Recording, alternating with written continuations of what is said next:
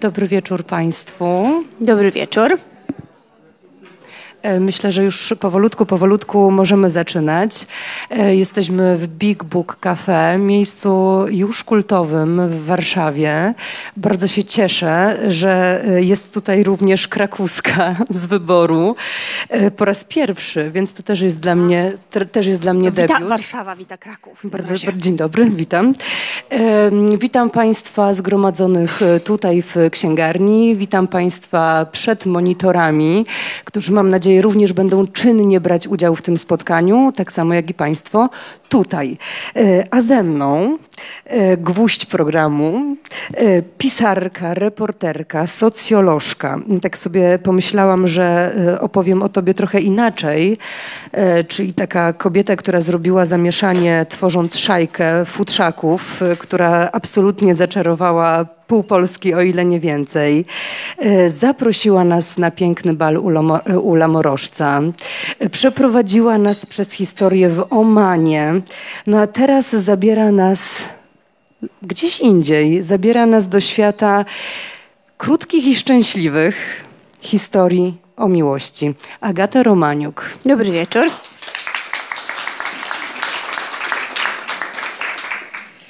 Ja nazywam się Georgina Gryboś-Szczepanik. Będę miała dla Państwa przyjemność poprowadzić dzisiejsze spotkanie.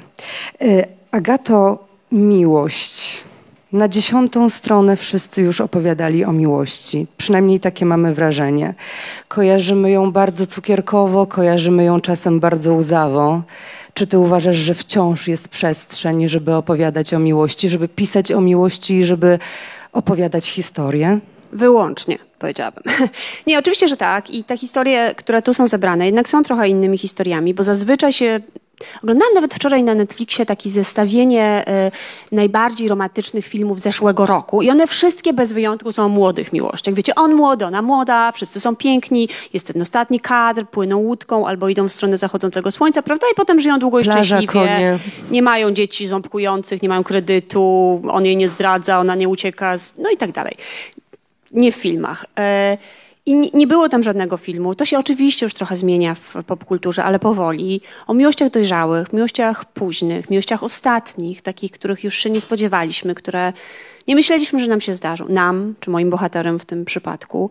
E, I jakiś czas temu pomyślałam sobie, że może im się warto przyjrzeć, że już może te wszystkie takie właśnie e, wczesne, radosne, e, zakończone ślubem i białą suknią zostały opowiedziane, chociaż pewnie trzeba je opowiadać na nowo, a te późne są przemilczane, trochę tak jakby to była taka, nie wiem, stabilizowana sfera życia, tak jakbyśmy nie wiem, orgazm mógł się wydarzyć do pięćdziesiątki, a wielkie uniesienie serca do, nie wiem kiedy, do pięćdziesięciu jeden, tak?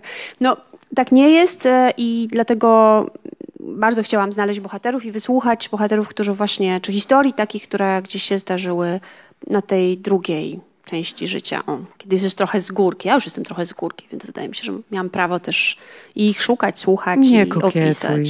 Nie, ale no to tak, no bo to średnia oczekiwana długość życia. Teraz socjolożka do Państwa przemawia. Proszę Państwa, w Polsce 78, czyli ja już bardzo z górki. To ja jeszcze nie, ale niebawem w takim razie. E, Agato, powiedziałaś, pomyślałam sobie, że to jest e, dobra, e, dobra historia, żeby opowiedzieć o późnych miłościach. Pomyślałaś sobie, czy te historie do ciebie przyszły? Bo to przeważnie jest tak, że jest jakiś trigger, tak, jakiś początek. Rację, oczywiście. To znaczy, to w ogóle jest tak, że ja chciałam napisać zbiór reportażu o starości w Polsce. I po pierwsze, to byłby strasznie smutny zbiór, a po drugie, on już istnieje. Iza Klementowska wydała taką książkę parę lat temu i ona jest rzeczywiście dość przejmująca i smutna, mm, więc to był taki w ogóle mój po pierwszy pomysł, bo napisałam taki tekst właśnie o, no takim, który zresztą tutaj wszedł, o właśnie starszym panu, który po wielu, wielu latach coś się w jego życiu zmieniło i dostał drugą szansę. E, a potem pierwsza historia do mnie przyszła i to jest historia tytułowa, która dała tytuł też całemu zbiorowi, czyli Krótko i Szczęśliwie. Historia Janki i Romka, którzy Poznali się w latach 60., zakochali się, typowa polska historia. Potem zdarzył im się marzec 68 roku dworzec gdański. Ona wyjechała do Hajfy, on został w Polsce. Przez 40 lat się nie widzieli, aż on wychodził z biczy szkockich, a ona wchodziła na bicze szkockie. Proszę Państwa, warto się zapisywać na zabiegi, bo naprawdę nie wiadomo, kogo można spotkać.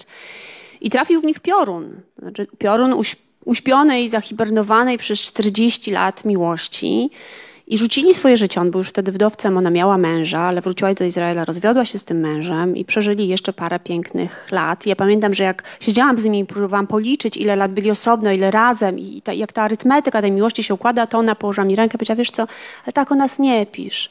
Napisz, że żyliśmy krótko i szczęśliwie.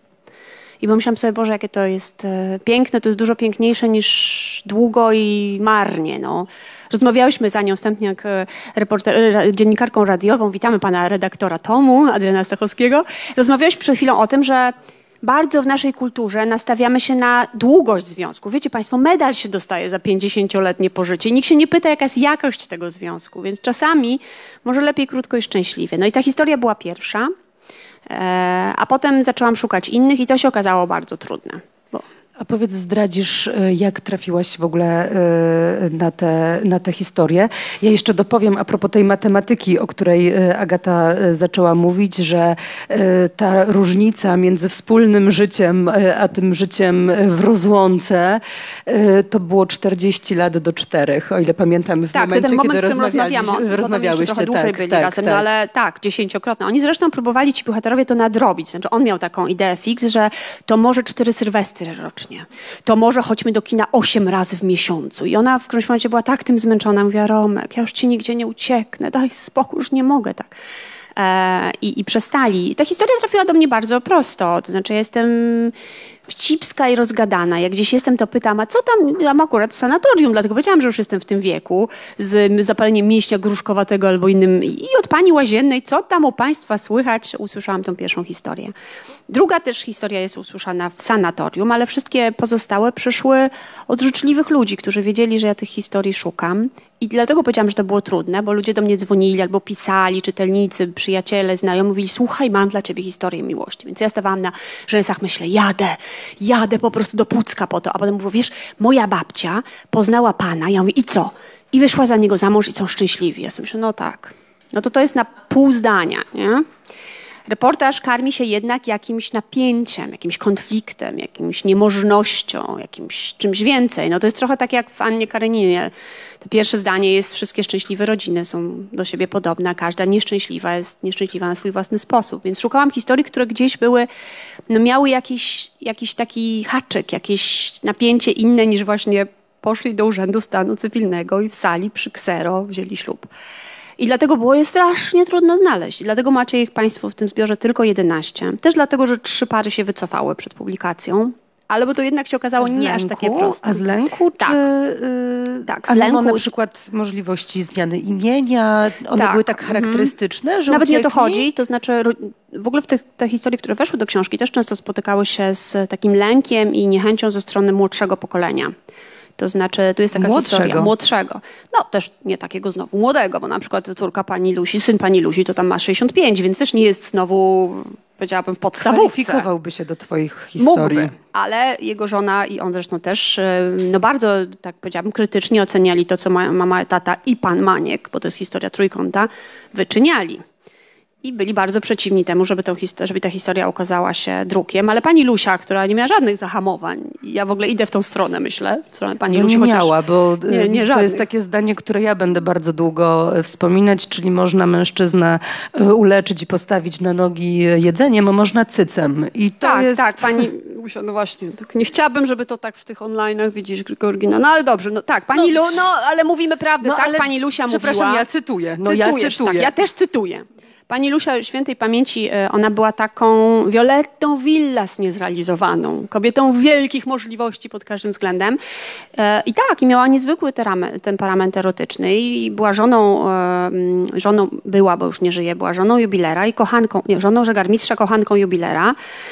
Przez wiele lat, widzicie Państwo, to się tam myliło, bo to wszystko było w napięciu. I ja bym tego momencie... nie nazywała, bo, bo ten moment jednak chyba takiego połączenia i pewnej akceptacji jest u nich kluczowy. Tak. Może właśnie nie warto etykietki tutaj. Właśnie, E, no ale i to jest taka historia, która właśnie rodzina się sprzeciwiała, żeby szczególnie córki pana Mańka, czyli tego trzeciego też, ale trochę mniej, ale najbardziej żona syna, która jest katechetką i powiedziała, o, no eksmitują was. Jak ludzie to przeczytają, eksmitują was. To było ich własne mieszkanie, więc nie wiem, kto miałby ich eksmitować. Ale była okropna, okropny opór tego właśnie średniego pokolenia, bo z kolei wnuki Mówiły babcia, poliamoria, wspaniale. A pani Lucyna mówiła, co? To polichromia, polichromia. Wiesz, tam, tam, wiesz to. Mówiła do mnie, wiesz, które to? No to, to my w tym jesteśmy.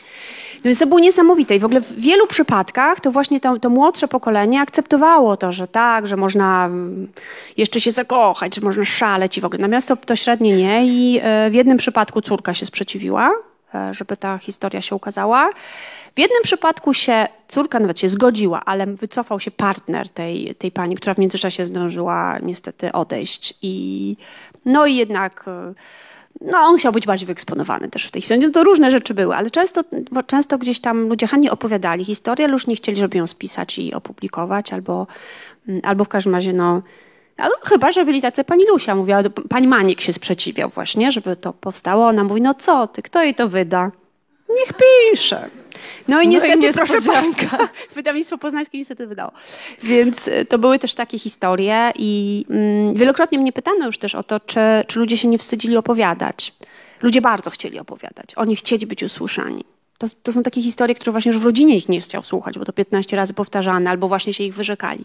To nie wszyscy chcieli opowiadać, nie wszyscy właśnie chcieli, żeby to potem się ukazało drukiem. Ale jeśli nie chcieli, to, to oczywiście uszanowałam. Tylko w dwóch miejscach imiona są zmienione. W historii Maryjki odwracają oczy na prośbę córki, bohaterki.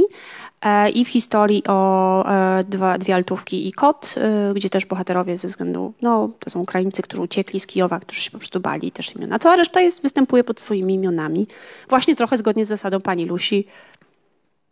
Coraz więcej osób umiera, które mogłyby się oburzyć, mówiła pani w tym, w tym, Każdego w tym wieku dnia. nie ryzykujemy. W tym wieku nie ryzykuje. A reszta bohaterów po prostu też chciała, żeby te historie wybrzmiały pod ich imionami. Y, muszę Państwu powiedzieć, że ja porozmawiałam z moją babcią y, na temat y, różnych ansów miłości i ekscytacji w późnym wieku i muszę Państwu powiedzieć, że no dawno tak nie ostro rozmawiałam ze starszą panią. W związku z tym myślę, że to tylko trzeba wypuścić i puścić i, i może okazuje się, że jest mnóstwo historii, które, które chcielibyśmy usłyszeć. No bo właśnie wypada, Agato, czy nie wypada?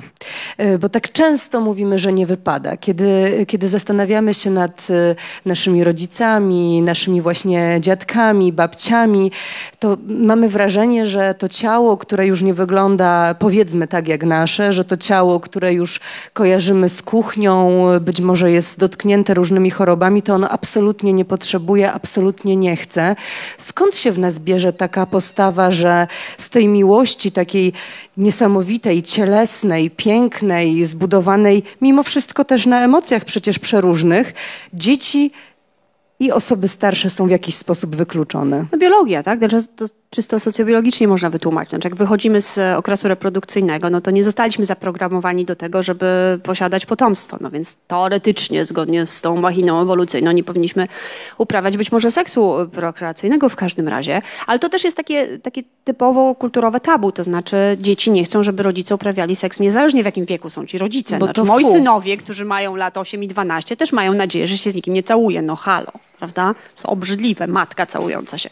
Więc to, to, to jest zawsze to, prawda? To, to dotyczy y, rodziców w każdym, e, w każdym wieku, a jeszcze właśnie takie, powiedziałabym, stereotypizowanie starości idzie w stronę tego, no, że to już są inne role społeczne, że ten fartuszek, że te wnuki, że te krzyżówki, te sudoku. Nie wiem co tam jeszcze. No, nie, nie, nie będziemy się już tak starzeć, to się zmieniło, już to wszystko wygląda, e, wygląda inaczej i czas, żeby zaczę żebyśmy zaczęli o tym mówić, zwłaszcza, że społeczeństwo się starzeje, my się starzejemy, a życie się nie kończy. I Chociaż ja, zabierając się do pracy nad tej książką, w ogóle nie myślałam, że tam będzie tak dużo wątków erotycznych. Ja jednak myślałam, że tak będzie tam o tej miłości. Właśnie, czyli widzisz, czyli jednak to nie jest tak, słuchaj, że w nas nie pracuje. Pracuje. Pracuje w nas wszystkich oczywiście jakoś ten stereotyp, ale też raczej może się spodziewałam, że właśnie może ze względu na to, że to intymne historie, że może niekoniecznie wszyscy bohaterowie będą chcieli o tym opowiadać, a, a było tak, jak to w życiu, że tam dla których to było ważne, to o tym mówili, a dla których to nie było takie ważne, to to niekoniecznie, więc e, też ludzie mają różne temperamenty i różną skłonność do, do opowiadania. Temat czasami jedno z pary. Mam taką jedną parę e, Amerykanka i Amerykanin i Angielka. Ona bardzo angielska, w kolorze takiej powiedziałabym herbaty z mlekiem, cała. Którą zresztą pije z filiżaneczek. Tak, z filiżaneczek ona pije w różyczki, a on taki rubaszny, pochodzenia irlandzkiego Amerykanin i on bardzo pikantnie się wypowiadał o ich pożyciu i ona to wszystko wycięła w autoryzacji. Więc też trzeba to uszanować. To z zasłoną swoją w różyczki robią różne rzeczy, e, ale niekoniecznie chcieli o tym opowiedzieć. To jest zresztą Przy zgaszonym his- świetle. Przy zgaszonym, właśnie nie. No w ich przypadku, biorąc pod uwagę, że Joe jest niewidomy, to myślę, że z tym gaszeniem światła tak, tam to- może nie być tematu. On zresztą jest wspaniałym mężczyzną, bo nagrywa jej się, nie, nie, nie może pisać już SMS-ów, więc jej się nagrywa i różne rzeczy jej opowiada, w tym też pikantne, ale zawsze jej mówi, nie widzę poza tobą świata, dosłownie. Więc, e, więc jest fantastycznym facetem. I to jest też piękna historia, bo ona, mm, ona też świadczy o takiej sprawczości. Znaczy, to jest taka historia, w której ta pani miała męża, który umarł, ona została sama i przez wiele lat była sama i w końcu dała ogłoszenie do gazety. I to do gazety takiej przeglądu literackiego Ja londyńskiego. dopowiadam, że to naprawdę nie było 20 lat temu. Ty Nie, nie, zresztą to też było- na to zwracasz tak, uwagę, że tak. proszę nie pędzić myślami do początku lat 90. Tak, że nie było nie, nie. Tindera. Nie? No jest Tinder, ale ona jednak wybrała tą formę, bo też inne osoby odpowiadają na takie ogłoszenia, myślę, niż nie wiem, czy Państwo na Tinderze bywacie. Tam nie ma aż tylu miłośników literatury, mam wrażenie. Są, ale rzadziej. Bardzo cię proszę, żebyś nie stygmatyzowała. Nie, nie stygmatyzuj. Nie, Być no to może żartem. są. są. Nie, oczywiście są, tylko po prostu trzeba dużo tam yy, przełożyć tych miłośników na prawo albo na lewo. Czy tam czegoś. No w każdym razie na, w, w tym przeglądzie literackim londyńskim no to była większa szansa i ona zamieściła tam ogłoszenie po prostu, że szuka ostatniej miłości. Tak to dosłownie sformułowała. I on w dosyć żartobliwy sposób do niej napisał i od tego się zaczęło. Co pokazuje, bo często mnie ktoś pyta, no, no ale mi się to nie zdarzy, ja nikogo nie poznaję. Nie no, o, oczywiście, ja też nikogo nie poznaję. Nawet nie mam okularów, Państwa słabo widzę, co, co, co dopiero w ogóle. Ale Czasem to lepiej. czasem to... Nie, w kontekście naszych widzów Nie, nie. oczywiście.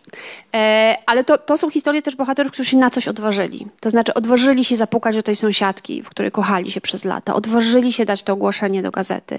Odważyli się odnaleźć list i adres swojego chłopaka sprzed 25 lat i napisać do niego z nadzieją Ponownie. na nie wiadomo co właściwie. A się odważyli. I to mi się wydaje takie niezwykłe w tych historiach, że, że właśnie to były bardzo często drobne rzeczy, jakieś takie małe gesty. Czasami chodziło o to, żeby się komuś przeciwstawić, właśnie swojej szwagierce, albo nie wiem, tak jak w pierwszej tej historii pan Staszek się przeciwstawił siostrom Elżbietankom. No to już nie jest taka mała sprawa może, rzeczywiście. Nie, nie, nie, tutaj już jest... e, Nie, ale też jakiejś opinii publicznej i temu, nie, takiej może sąsiedzkiej bardziej, swoim synom, którzy też mówili, co ty się w wariatce kochasz. Nie? Też dzieci potrafią być szczególnie okrutne, myślę. Ale ja się bardzo cieszę, że wyciągnęłaś tę historię. E, Ja jeszcze tylko przypomnę, że e, Państwo, którzy e, są przed monitorami, mogą jak najbardziej zadawać pytania, pisać o swoich historiach i tutaj net i podgłównodowodzący w Big Book Cafe będą nam donosić w tak zwanym międzyczasie, co tam się dzieje, także zachęcamy. Natomiast, no właśnie, historia kobiety, która być może byłaby wielką na wielkich scenach artystką, która, no cóż, no właśnie, czy kochała, czy tylko była kochana? Nie wiemy tego. Nie wiemy i nie dowiemy się ani, czy była kochana wcześniej, zanim trafiła do tego ośrodka opieki, w którym teraz jest i zanim weszła w tą relację ze Staszkiem. Bo historia jest taka, że pani Maria jest byłą wiedeńską pianistką, która zapadła na wczesnego Alzheimera. I ona rzeczywiście nie pamięta, nie przyswaja nowych wspomnień.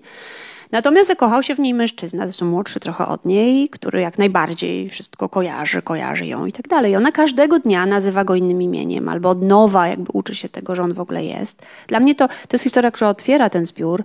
Dla mnie najbardziej poruszająca z nich wszystkich. To znaczy, bo to jest historia o tym, że można kochać kogoś, kto, no wiecie, nie kocha, wiecie Państwo, nie kocha nas, to znaczy kocha kogoś, ale nie wiemy kogo. Cieszy się na nasz widok, ale czy na nasz?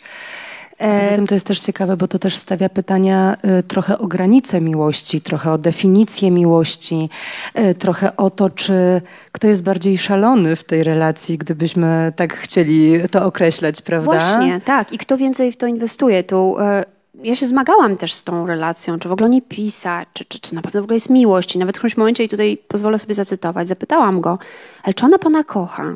Przecież nawet nie wie, kim pan jest. Teraz myślę, że mogłam to łagodniej sformułować.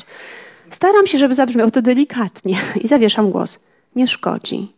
Przecież ja ją kocham, a nie siebie. To nie ma znaczenia, że jestem dla niej różnymi osobami, bo ja wiem, kim ona jest. Przychodzę do niej codziennie i nie pozwalam jej zapaść się w sobie. Póki ktoś na nas patrzy z czułością, póty istniejemy. I to mnie jakoś niezwykle poruszyło, bo to jest w ogóle bardzo prosty facet. Były górnik, człowiek mało, małej liczby słów, który właśnie przychodzi codziennie, patrzy na Marii. Maria gra Prokofiewa.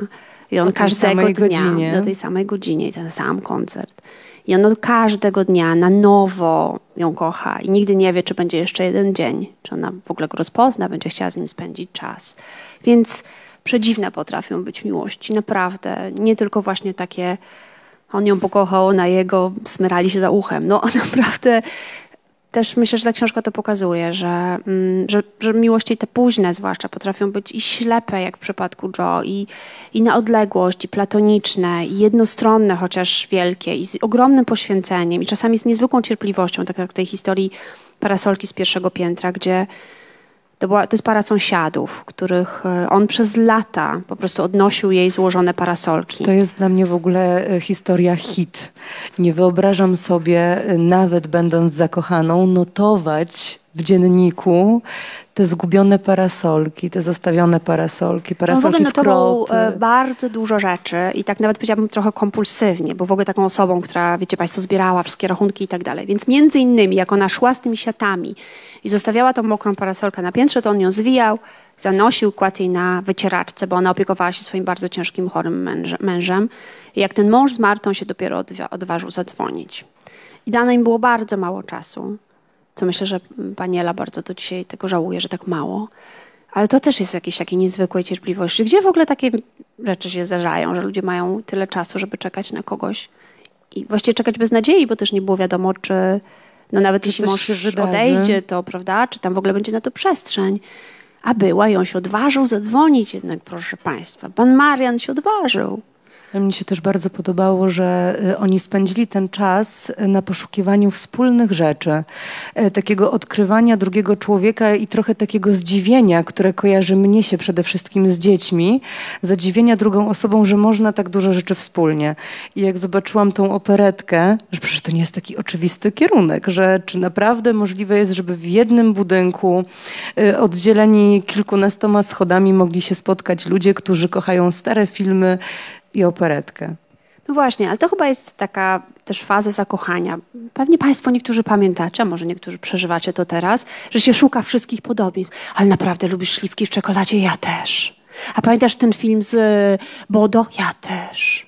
I to są takie jakieś drobiazgi, które ludzi bardzo do siebie zbliżają. Jest ten etap takiego wymieniania się, tego łączenia i mówienia nawet czasami z ulgą, a ty lubisz knedle? Nie. O, na szczęście czegoś nie lubisz. Okej, okay, dobra. No, nie jesteśmy, jesteśmy różni. Ale jesteśmy różni, nie lubisz knedli. Więc, e, więc to się bardzo często powtarzało w tych historiach, że gdzieś tam ludzie się spotykali i mówili sobie, wymieniali się tam, pytali się, a, a w Tatrach to które miejsce ulubione? I, um, I to takie bardzo było wzruszające, że pamiętają to często po wielu latach. E, I te, te drobiazgi chcieli się też nimi ze mną dzielić, więc więc dla mnie to było ważne, że też mogłam obejrzeć te miejsca, zobaczyć ten notes z parasolkami, pójść do pani Marii, zobaczyć jak ona na tym swoim e, baby e, e, fortepianie gra i co gra i, i że fałszuje, to nawet ja słyszę już teraz chyba, bo ona też słabo słyszy. To, to, to, to jest ważne i jak nieważne było to dla pana Staszka z kolei. No, więc, a on z kolei ją uczy ptaków, ona po niemiecku powtarza ich nazwy. Następnego nie zapomina, on powtarza te same ptaki. A potem ptaki przylatują inne. No i tak mijają dni, a on patrzy na nią i póki on patrzy, to póty ona istnieje. Czegoś tak trochę, wiesz, zamyśliłam, jakoś tak mi zwizualizowałaś od nowa coś, co mnie zachwyciło. Zresztą wiesz, bo, bo pisałam ci o tym, że to była taka historia, która mnie najdłużej zatrzymała. E, natomiast jest, jest też historia, powiedziałaś o dwóch historiach związanych z sanatoryjnymi e, opowieściami. E, I to było dla mnie zaskoczenie mojej własnej wewnętrznej konserwy, którą w sobie odkryłam, że absolutnie jedyną rzeczą, którą kojarzyłam z właśnie miłością w późniejszym okresie życia, to jest to sanatorium.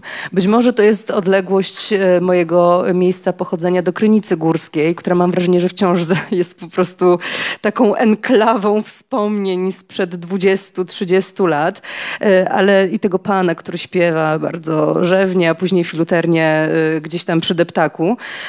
Ale tak sobie pomyślałam, że to sanatorium to jest takie, takie epicentrum różnych takich e, trochę niegrzecznych historii, które, które się wydarzają za zamkniętymi drzwiami. E, natomiast ty przywołujesz historię Waldka i Poltka, braci, którzy e, są przystojni, siwi. Tak, oni wysocy, wyglądają trochę jak, Kobuszewski, jak Kobuszewski. Jak Państwo pamiętacie, jak Kobuszewski, no to, to tacy bracia, jeden z wąsem, drugi bez wąsa. To ma znaczenie, bo ten z wąsem bardzo nie chce być, znaczy ten grzeczny Poldek, bardzo nie chce być mylony z Waldkiem, który jest strasznym lovelasem, więc zapuścił wąsy, żeby nie być... Kasanową. Tak, kasanową, żeby nie być z Bochni, żeby nie być z nim mylonym. Ale obaj są wysocy i przystojni. Zresztą bardzo upolowałam nad tym, bo pierwotnie oni się zgodzili, żeby dać zdjęcie do książki. No i znowu żona Poldka powiedziała, Poldek, co ludzie powiedzą wiedzą w tej Warszawie. Więc nie wiem, co Państwo byście powiedzieli, pewnie nic strasznego, ale się wycofali z tego, z tej decyzji. Naprawdę przejmowali się tak. niebo, niebochnią Warszawą, tak? Bochni wszyscy wiedzą. A, czyli co zrobić. No, Bochnia nie Sprawa taka się rypła, czyli o stolicę już nikt się nie obija. Chodzi o to, żeby nie doszło, co Waldek wyrabiał do stolicy. Bo Waldek ma się... A Waldek nawyrabiał. A Waldek nawyrabiał. Waldek ma 70 parę lat i no proszę Państwa, życzę Wam takiego wigoru jak u Waldka. Ten wigor był przez lata. E, no tak, ale no, to jest historia, historia o przemianie. Tak, no właśnie, bo, bo mówiłaś o tym, że to są historie, które łączy taki element y, odważenia się i sprawczości, a tak sobie myślę, że jednak y, nieco inna jest historia zachowania Waldka, który absolutnie dla mnie w sposób no, niezwykły zaczyna się zmieniać i chyba też niezwykły dla niego samego. No bo nagle się okazuje, że kobieta nie w jego w ogóle typie. Nie w typie, nie, nie w typie, nie. nie. Za mało okrągła. To mi się bardzo podobało. No on, on mówił, słucha. Jak pani mówi do mnie, taka sucha jak pani. Patrz, Iwonka, jak pani, taka jesteś sama sucha. To nie no, sexy. To jest taki mężczyzna, powiedziałabym, bezpośredni w ogóle dosyć. Tak, tak. Więc zupełnie nie w jego typie. Co więcej, taka, która no, nie była, e, powiedziałabym, odporna na jego szarm. Bo Waldek miał jednak przećwiczony przez 50 lat szarm. To już wiecie Państwo, to się ma te swoje ruchy. I ona się okazała być na to odporna. I, mm, i być może zresztą tym go ujęła. I faktycznie on przeszedł jakąś taką niezwykłą i dla niego, i dla całej rodziny przemianę. Chociaż muszę powiedzieć, że brat zawsze na boku mówi, ciekawe ile to potrwa. Więc zobaczymy. No, ale na razie, jak sam o sobie Waldek mówi, jest uziemiony. Ale rozumiem, że to jeszcze trwa. Tak, tak, to jeszcze trwa i to już trwa parę lat, więc myślę, że już jest uziemiony może całkiem dobrze. Chociaż jak sam o sobie mówi, a ma teraz 76, sam mówi, no, jestem jeszcze młody, w moim wieku jest wszystko możliwe. Więc może zrobimy, wiecie Państwo, tom drugi. Waldek powraca na drogę losy. wielu rozkoszy. Ale na razie jest w stałym związku. Po raz pierwszy w życiu opiekuje się nie swoim dzieckiem. Zresztą też nie dzieckiem partnerki. Też bo, nie dzieckiem bo to partnerki. Też jest tak, dość to jest dosyć ciekawe, tragiczna w ogóle tak. historia i trafił jakby do, do życia tej partnerki, tego dziecka w momencie, jak ten chłopiec łamał dwie ręce. I trzeba się było nim no bardzo zajmować. I ten właśnie, Gasanowa z Bochni, który z niejednego piec, żeby nie powiedzieć gorzej, to, y, to właśnie tak, zaopiekował się tą kobietą w potrzebie i tym dzieckiem, i tym starym psem. I to, no, tak, to jest historia rzeczywiście o czymś takim, że on też się odważył, bo to też jest o odwadze, o tym, że musiał nabrać powietrze w płuca, w ogóle przenieść z tej bochni, bo najpierw jeździł z tej bochni. Ale piszesz, że on się nie zastanawiał, że on wsiadł w samochód i pojechał. On tak o tym mówi, ja też tak trochę piszę, bo to są jego słowa, ale rodzina mówi, że jednak był mocno zestrachany. Co to będzie? Rano się człowiek budzi, jeść śniadanie z tą kobietą, codziennie. I tak mu, mu, pytał się do Poldka, który Poldek jest, Poldek jest 48 lat po ślubie, tak. I mówi, ja, Poldek, jak to, jak ty to robisz? No, ale jakoś samo poszło, więc, więc mają się dobrze. No i tak, więc to jest taka historia właśnie trochę w drugą stronę, o kimś, kto był całe życie bardzo e, wyzwolony, a się, a się uziemił. Wręcz przeciwnie niż jest pani Wiesława, która drugą stronę raczej spędziła życie leżąc krzyżem, a końcówkę życia zupełnie inaczej. To jak wywołałaś, to przeczytaj. Lasu, Mamy taki bardzo sprytny plan tutaj, żeby Państwu Agata przeczytała pewną historię, która też trochę łamie łamie tabu i podejścia tak, różnego będzie to rodzaju. fragment reportażu Maryjki Odwracają oczy. Problemy zaczęły się, kiedy Wiesława, 50-letnia księgowa z Iławy, wybrała ciało Zdzisława zamiast ciała Chrystusa. Wcześniej przez wiele lat Maryjki patrzyły na nią czule i z miłością. Porozsiadały się na półkach, na parapecie i na stoliku w sypialni jej mieszkania w bloku. Ciche, skromne, bez uśmiechu, jedenaście sztuk.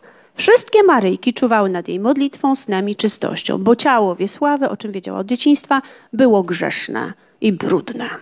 No i Wiesława przez właśnie wiele, wiele lat żyła w tym przeświadczeniu, że wszystko, co cielesne jest e, grzeszne i brudne. Katując Przeżyła, przy okazji swoją córkę. Tak, katując tym samym przekonaniem swoją córkę. Z bardzo nieszczęśliwym, utknęła na chwilę przez nieszczęśliwym bardzo e, małżeństwie z alkoholikiem, ale potem jak córka się wyprowadziła, to znalazła ten właśnie adres do swojej pierwszej miłości. I po 20, chyba 5 czy 23 latach, już nie pamiętam, postanowiła do niego jednak napisać. Napisała, nie będę tutaj Państwu cytować, ale no, napisała ten list. Właśnie jestem uparta, mogę tak pisać z większymi, mniejszymi przerwami przez lata. Znagła, tak. Więc jak Państwo kogoś takiego macie sprzed lat, to nie tam, że no co słychać, wiesz, u mnie, tylko po prostu od razu trzeba mocne wejście rury. zrobić, prawda? E, może w końcu dostaniesz ten list, ale będziesz wściekły i mrożący lub dobroduszny i lekceważący i przestanę się w końcu zastanawiać. Okazało się, że długo się zastanawiać i czekać na spotkanie nie musiała. Stanął w jej drzwiach w mieszkaniu w Iławie i tak to się zaczęło.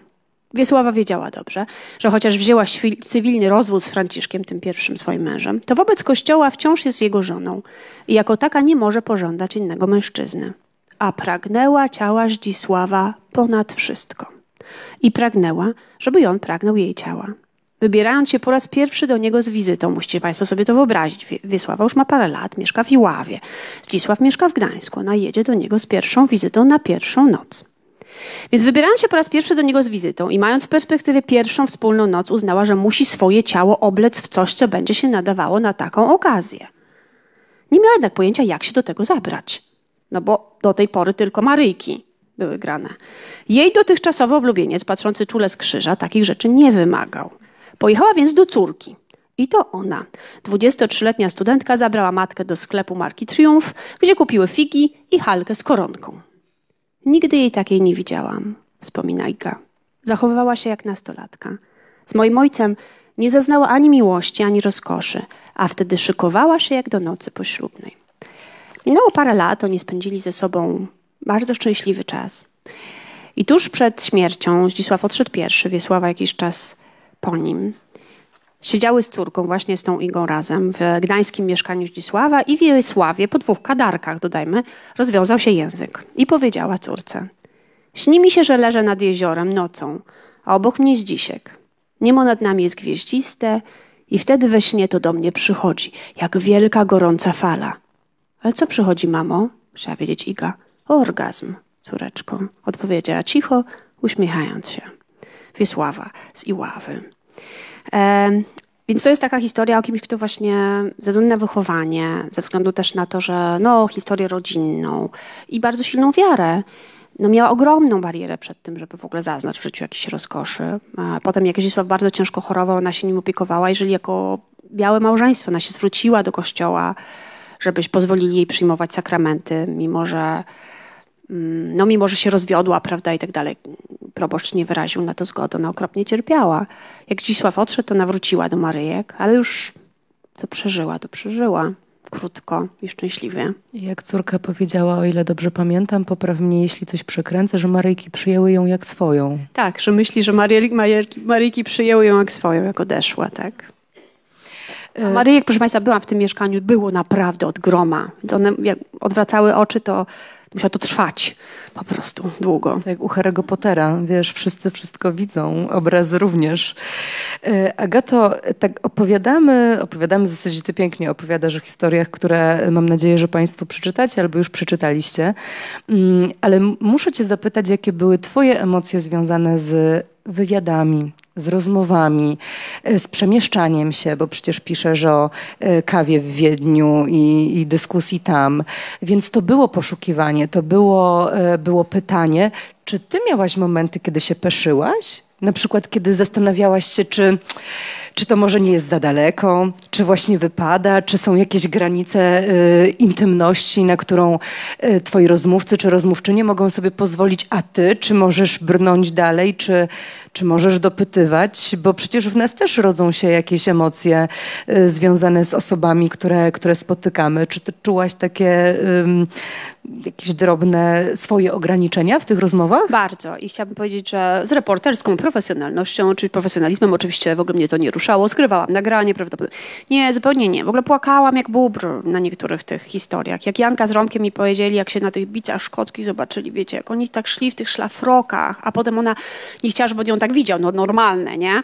Poleciała się przebrać, się spotkali i on był łysy, a ona w okularach. Nie no, to po prostu nawet jak teraz sobie to wyobrażam i mówię, myślę o tym, to były niezwykle poruszające historie i też z wieloma tymi bohaterami musiałam się spotkać wielokrotnie, bo to też trwa proces w ogóle pracy z bohaterem, żeby chciało powiedzieć, żeby nie chciało powiedzieć całego swojego życia, tylko jednak to, co nas interesuje. A to były w większości starsze osoby, więc było co opowiadać. Um, więc, więc zupełnie nieprofesjonalnie myślę się wielokrotnie wzruszyłam i, i trudno mi się pisało też potem, bo ja dosyć długo ten materiał zbierałam, jak mój redaktor, wspaniały wie niestety, że długo to trwało.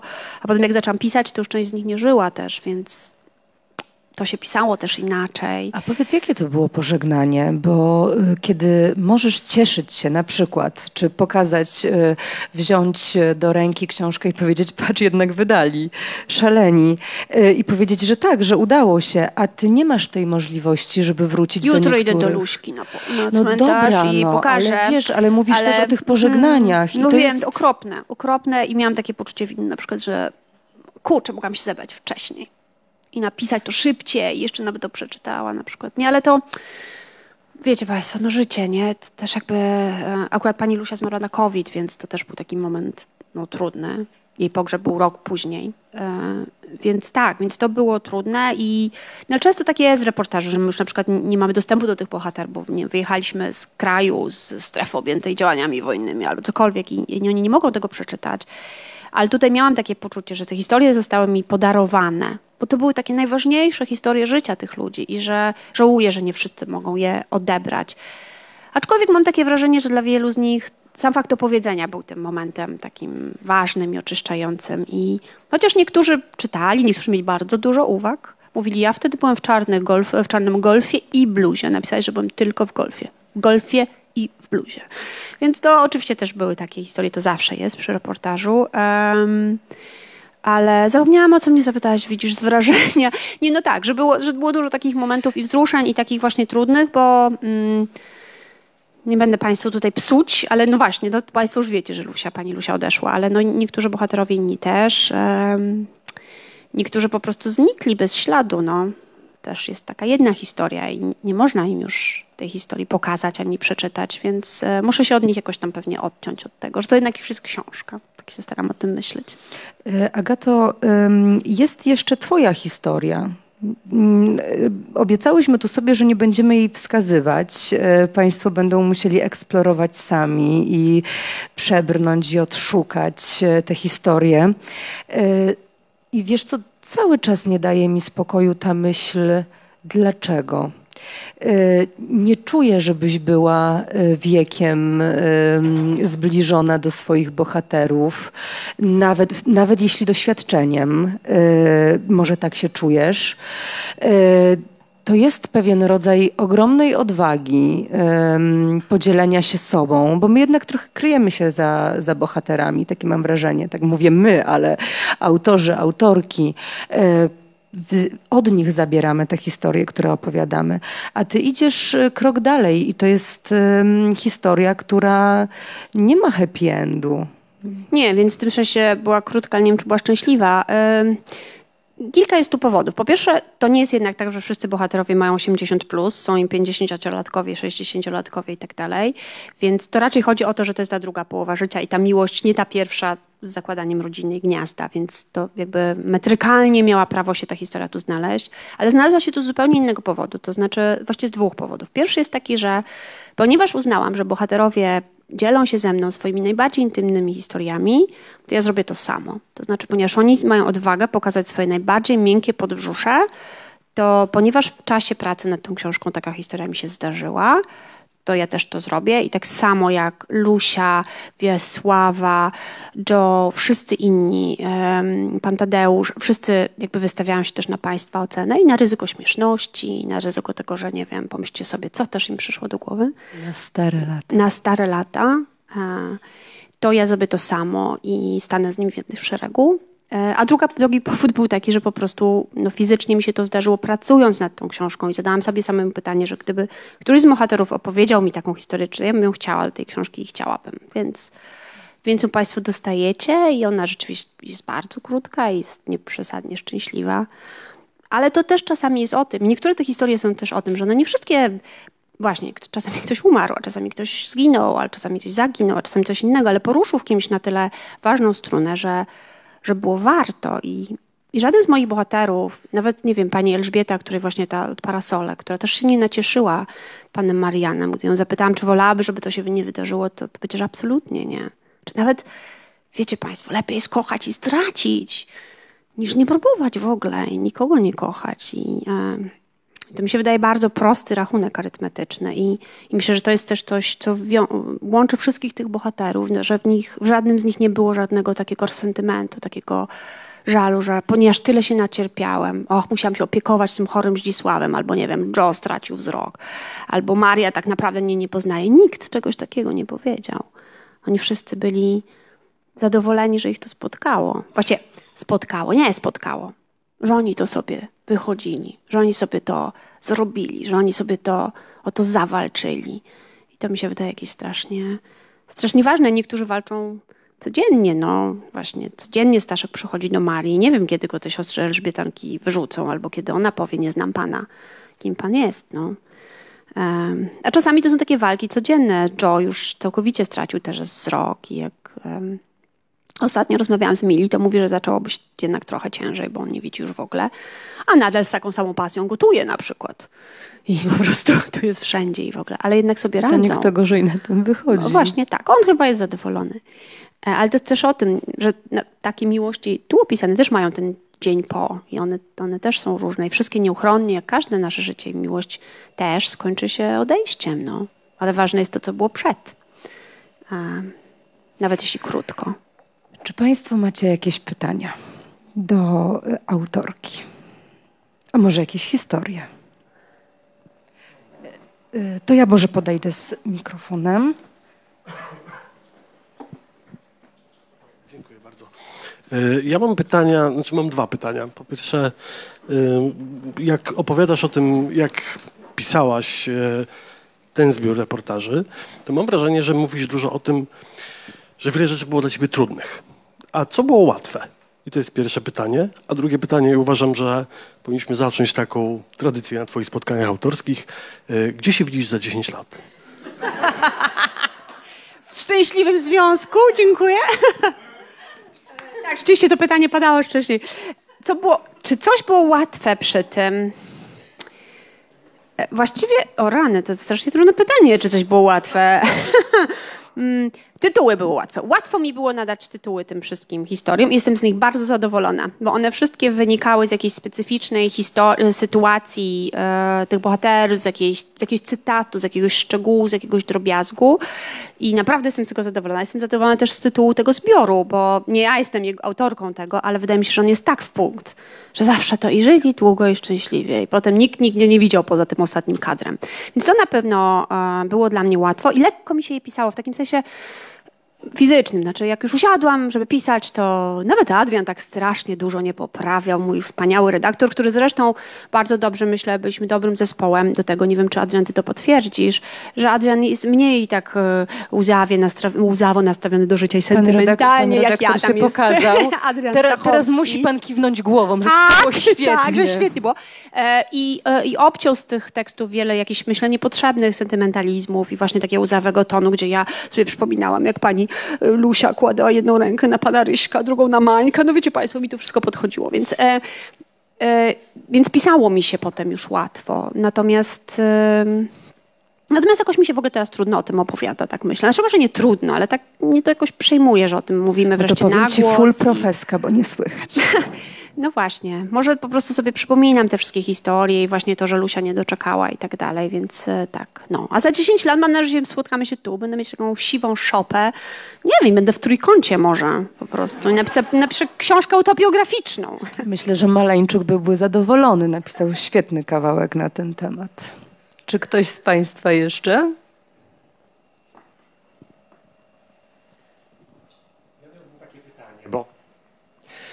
Poprzednia twoja książka to powieść. Powieść niezwykle emocjonalna, też pełna emocji, pełna mm, wrażeń.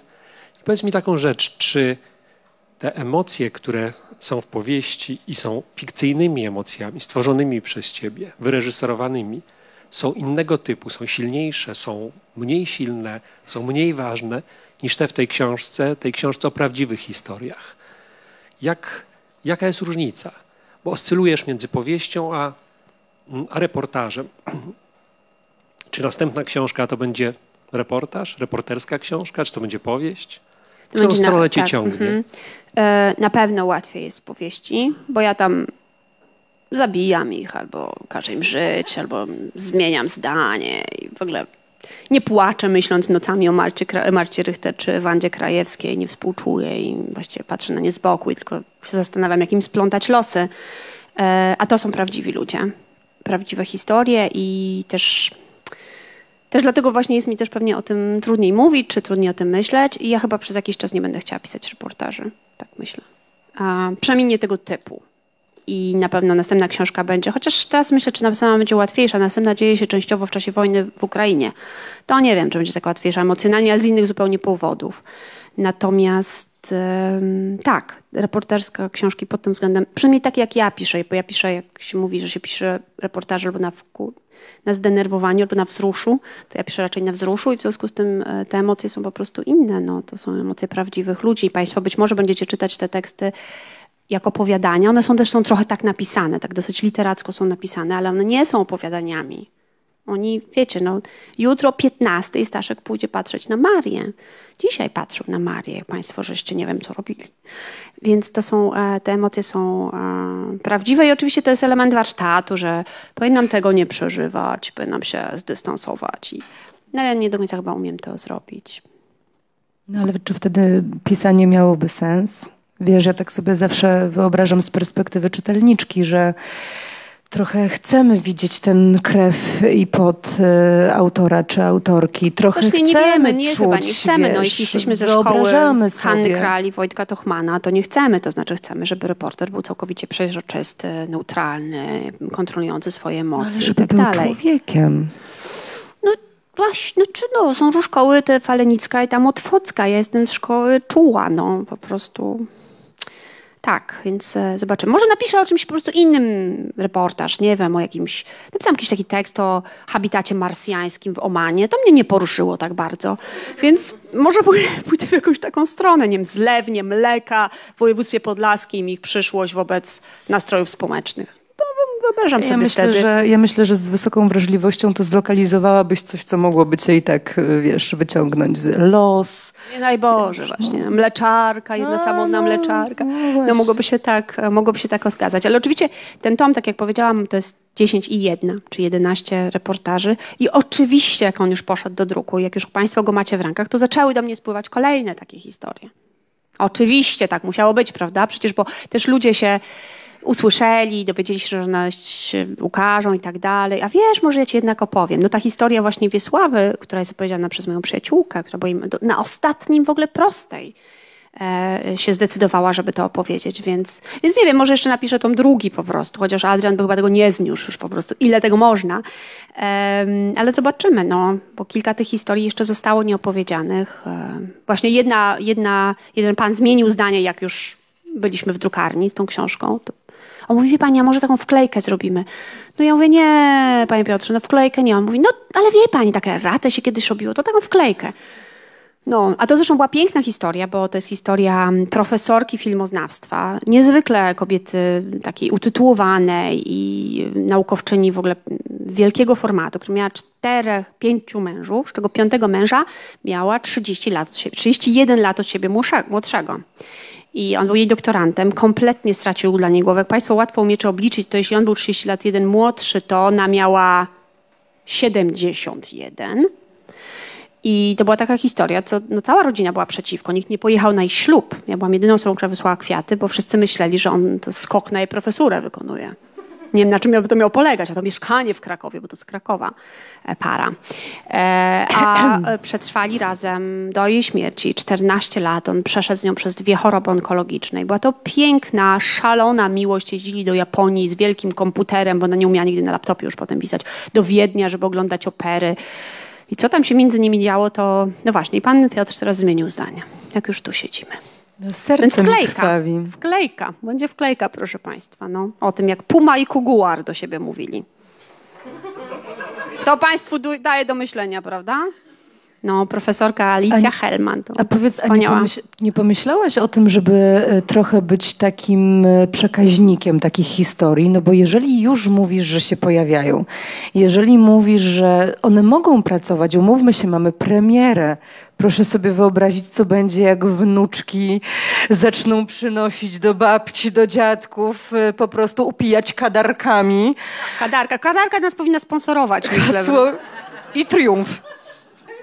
I później Darka i Triumf. Chcemy tutaj zaznaczyć, prawda? Lokowanie produktu. Lokowanie produktu. E, więc e, może się rozbudzić w ogóle taka potrzeba op e, opowiadania, a być może w ogóle odwaga że ten czas faktycznie się zmienił i można, że ktoś jest na tyle zainteresowany, być może dla nich zwyczajnym życiem, wcale niezwyczajnym, żeby o tym opowiedzieć. A przecież y, są inne drogi, nie tylko y, dróg książki.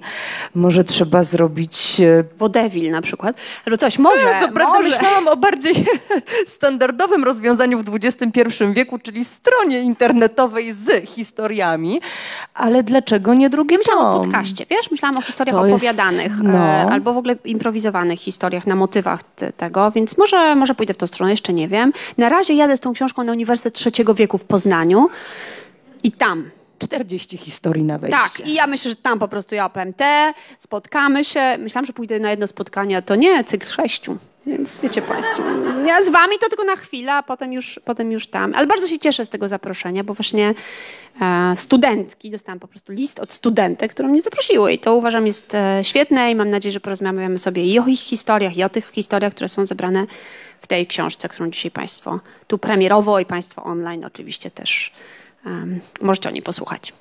E, ja też przypominam, że książkę można kupić. Książkę można kupić również online'owo. E, z tego co wiem, to pojawiają się e, informacje o tym, że można. Agata podpisuje, w związku z tym będzie. Z dowolną dedykacją, dla, dowolnie enigmatyczną również. Pucio, pucio. Proszę Państwa, to będzie ostatnie pytanie bardzo egoistyczne, bo to jest pytanie, które mnie, które mnie dręczy. Y, my bardzo często opowiadamy o tym, że warto słuchać starszych od nas. Y, przekonuję się o tym podczas każdej rozmowy telefonicznej z moją babcią, y, którą szczęśliwie jeszcze mam babcia Elżbieta. I tak sobie, tak sobie myślę, czy kiedy ty słuchałaś, wyciągnęłaś nawet, być może nawet jedno zdanie, które masz świadomość, że ciebie być może zmieniło, może nauczyło, e, czy po tym czasie rozmów i przedzierania się przez tę historię e, coś zostało z tobą tak na amen. Tak, i to jest to, co powiedziała pani Lusia. Teraz się pani zajmie sobą 20-30 lat, potem miłość przyjdzie. Ja jestem zrelaksowana. To było dwa lata temu, więc już powiedzmy 28 lat, nie? Ale E, ale oczywiście to, to, jest, ona to ujęła w zabawny sposób, ale no to jest taka trywialna, najbardziej banalna prawda, że póki życia, póty nadziei, w ogóle nie można tracić tego, tej wiary. I trzeba zawsze podnosić głowę i zawsze patrzeć w bok i zawsze myśleć, że może jeszcze. I to nie dotyczy tylko miłości, ale różnych innych rzeczy. To znaczy, może jeszcze zostanę neurochirurgiem. To też nie jest wykluczone. To też bym chciała, ale to myślę, że na miłość Słuchaj, jeżeli jeden z twoich bohaterów w wieku 76 lat powiedział, że jest młody i hello, jeszcze trochę przed nim, to ty uważam Przynajmniej mogą Leciutko. mieć takie cukinie i ogórki jak Waldek. O, jest ładne. Tam na zdjęciach Państwo mogą zobaczyć, że ogródek Tak. Tak się, tak się zostaje uziemionym, proszę Państwa. Tak, ale jak to mówi w dobrej glebie, w dobrej glebie został uziemiony, więc tego sobie możemy wszyscy życzyć. Czuję się jak na rozdaniu nagród. Po prostu e, została mi wręczona magiczna karteczka, którą na, której treść na razie znam tylko ja, ale już za chwilę To Waldek do nas państwo. pisze. To nie były cukinie, to były patisony, coś takiego.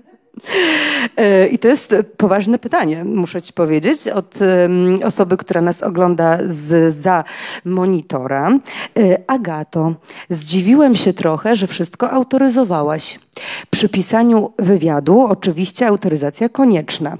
Zaznaczam, że nie jestem reporterem, więc pewnie się nie znam. Powiedz, czy autoryzacja w reportażu jest konieczna? O, znowu szkoła falenicka i otwocka, to znaczy chyba obowiązkowo, zgodnie z prawem, a ja też do końca nie wiem, bo ja autoryzuję wszystko, jest konieczność autoryzowania bezpośrednich wypowiedzi. Natomiast nie już opisu sytuacji i tak dalej. I to w związku z czym czasami reporterzy ukrywają wypowiedź w jakąś mowę zależną albo właśnie opis sytuacji. Ja autoryzowałam te teksty, ym, dlatego że to są właśnie bardzo, to nie są opisy jakichś zdarzeń, których ci ludzie byli świadkami, tylko to są ich życia. Więc tam się musiało zgadzać wszystko. Więc nie dość, że ja autoryzowałam, to Adrian mnie sprawdzał i pisał do mnie na przykład niemożliwe, że widzieli piłę 5 w styczniu 2008 roku, ponieważ weszła w marcu. I ja wtedy, było tak, prawda? Powiedz szczerze. Tak było. Więc ja Ja za chwilę pis- pana tutaj poproszę na środek, bo wydaje mi się, że e, taka rozmowa od kuchni, jak powstaje reportaż i kto tu kogo weryfikuje, jest nam bardzo Ale potrzebna. to było bardzo ważne. I ja wtedy dzwoniłam do mojego bohatera. Mówiłam, słuchaj Romek, bo jest taka sprawa. On Mówi, no nie pamiętam, przecież powiedziałam ci mniej więcej, co widzieliśmy. No więc żeśmy tam poprawiali. Więc, yy, ale to, to właśnie dla, tak jak niektórzy bohaterowie, którzy szczególnie przywiązywali wagę, no to, to poprawiali te szczegóły, bo to było, to było dla nich ważne, czy jak pierwszy raz zobaczyli tą kobietę, to mieli ten golf, czy mieli na sobie tą bluzę. To było ważne, do której kawiarni poszli i jakie, jaką książkę Dygata on dostał od niej. To było dla nich ważne. Jeśli to dla nich było ważne, to dla mnie jest ważne i chciałabym, żeby Państwo to przeczytali tak, jak było. Nawet jeśli byście się wzruszyli równie bardzo przy filiżankach fiołki, co w filiżankach wróżyczki, to jednak e, wydawało mi się to ważne, więc jak e, kotka Joe i Millie nazywa się Celine, to to jest kotka Celine i zdjęcie Celine Państwo macie na, e, w książce, a nie, nie wiem, jakiegoś innego kota albo cokolwiek. Więc tak, więc odpowiadając na to pytanie, autoryzowałam z takiego szacunku i takiego głębokiego przekonania, że w tym przypadku mam do czynienia z najcenniejszym, co ludzie mają, czyli ich miłościami i przeżyciami. I byłoby nieuprzejmością i nieeleganckie by było z mojej strony tego nie uszanować. E, Muszę zadać e, kończące pytanie pod tytułem, czy ktoś z państwa jeszcze, bo nie chcę nikogo pominąć. Zawsze jeszcze możemy w kuluarach. Powiem Państwu, jak redagować te ogłoszenia w różnych periodykach. A kolega redaktor opowie, jak robić research, żeby Tak. piła 5 z piłą 6 się Co nie, pomyliły. pomyliła, sp- jak sprawdzić, jak wygląda ten pub dokładnie, w którym się spotkali, czy oni się nie pomylili, czy to jest ten pub. Więc też możemy panu Państwu podać sprawdzone adresy w miastach od Tarnowa przez Cieszyń po Londyn. Po prostu gdzie się nie znajdziecie, tam mamy swoich ludzi, no, którzy się kochają. Tak możemy powiedzieć. Bardzo o tym marzę. Zupełnie poważnie bardzo o tym marzę. No, więc... e, Dobrze, że ta rozmowa zostaje. To jest taki piękny apel. Ja bardzo Apel proszę, do Agaty z proszę. Poznańskiego. Ja bym bardzo chciała pojechać do sanatorium. Po pierwsze zdrowie nie to, a po drugie nie, zupełnie poważnie. Myślę, że tak i że to by miało zupełnie inny charakter te, te spotkania pewnie. Ja bym trochę opowiadała, ale nie wiem, czym się przebiła. Wiesz, o czym teraz pomyślałam? Że jedziesz do takiego sanatorium X i nagle opowiadając o Waldku i Poltku, Łzy, wstają łzy. Po te prostu kobiety kobiety i mówią, to ja.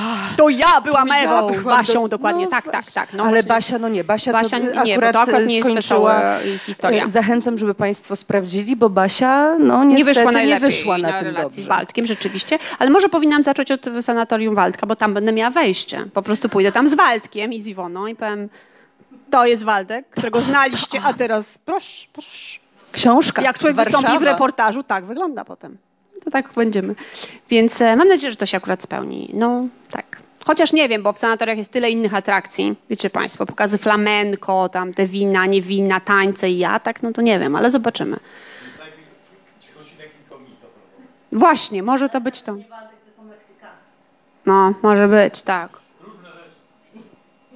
Dam Państwu znać. Tych historii nie skłoniła Cię do myślenia, że na jej bazie byś zbudowała fikcyjną opowieść? że tak na tyle by cię zainspirowała, żebyś chciała stworzyć potem książkę z fikcją, ale zbudowaną wokół którejś z historii, które tutaj opisałaś. Tak, pierwsza, Maria. Patrząc na Marię, wydaje mi się, że jest w ogóle filmową historią. Albo przynajmniej na jakąś etiudę, albo opowiadanie. E, więc to na pewno. I parasolki z pierwszego piętra chyba też są taką historią. Na taki właśnie film na Netflixie, ale w tej drugiej dziesiątce, bo w pierwszej to już wiecie Państwo, co tam jest, prawda? Więc, więc niektóre wydaje mi się są. Jedno zresztą studio filmowe się zainteresowało z kolei historią Krótko i Szczęśliwie, bo ona się ukazała w prasie wcześniej, zanim e, w dużym formacie. I się odezwali do wydawnictwa o, z prośbą o kontakt do bohaterów i tak dalej. Janka już nie żyła też wtedy, więc. Więc, więc, więc stare miłości też mają potencjał filmowo, po prostu ekranowy. O, tak. Moją... Chociaż, chociaż muszę powiedzieć, a No, jeszcze no i przepraszam, bo tak, przepraszam, ale jeszcze jedna rzecz. elegancko chciałam jednej- zakończyć, po prostu. Przypomniała mi się jedna rzecz, przepraszam, teraz widzisz, że jestem... Ja teraz po będę prostu- czekać po prostu pokornie tak, jak baranek. przepraszam, zaraz kończymy. Z jednej historii coś ukradłam, to znaczy z krótko i szczęśliwie ukradłam, którą znam od lat, ale ten tom, ta książka trochę się pisała, jak już mówiłam, to ukradłam ten motyw niszczenia listów przez ojca bohaterki i wsadziłam go do powieści. I, ale uważam, że to nie jest takie, no to w domu ta kradzież, nie? To jakby wszystko... Zresztą pytałam wtedy Romka bohatera, czy, czy Janka by miała coś przeciwko tego, że, że wykorzystam ten. A mówi, no co ty, bo była zachwycona, że jest w książce.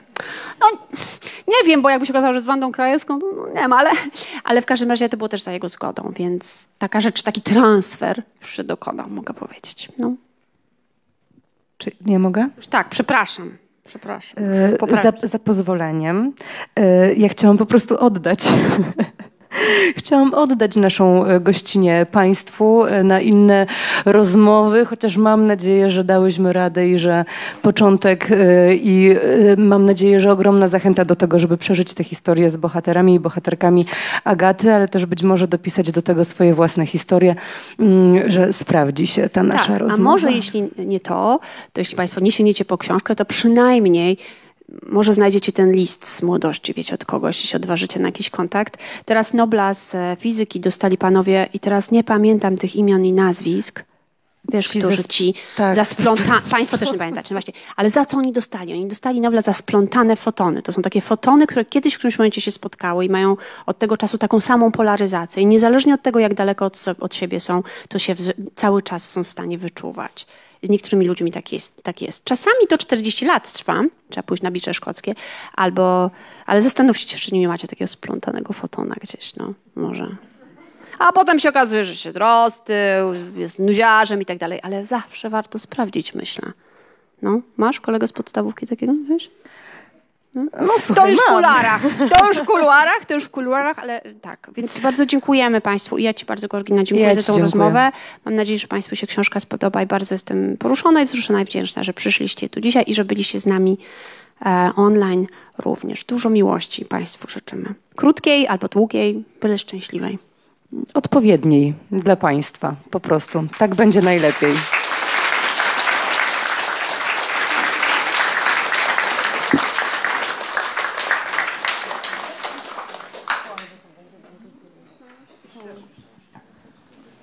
Kobiety się już wytuliły, można odetchnąć.